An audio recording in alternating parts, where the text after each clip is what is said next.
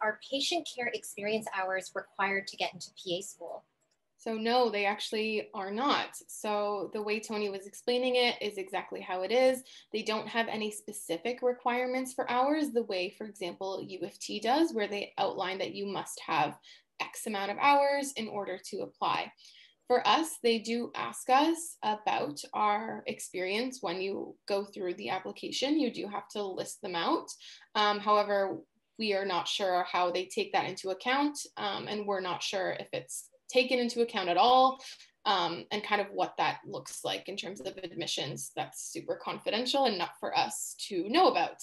Um, they definitely throughout like the supplementary application and the MMI, they definitely ask things that you could draw upon your experiences, um, whether that be like we kind of talked about before, healthcare or otherwise, any other extracurriculars that you've kind of um, done. And it doesn't even have to be extracurriculars. Realistically, it could be any other experiences that you have, um, but they don't specifically look for slash ask about your healthcare experience. I hope that kind of clears things up.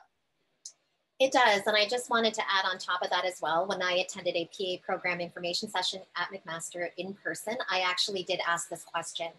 Uh, you know, the OUAC 105 does require you to list your extracurriculars but does the admissions program actually look at it? So at the time, the answer was no. So what I would suggest is maybe take the time to fill it out, but don't stress over it because uh, it doesn't sound like it is. But again, check the PA program information website for the most up-to-date information.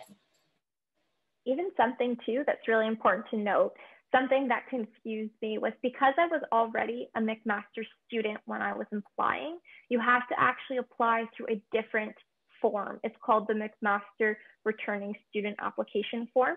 It'll be on the admissions website as well. It'll have a little bit that's like, if you are currently an undergraduate student at McMaster, please apply through this as opposed to the OUAC 105. So that's just something as well for anyone out there that might be already doing their undergraduate degree at McMaster and looking to do the PA program at McMaster.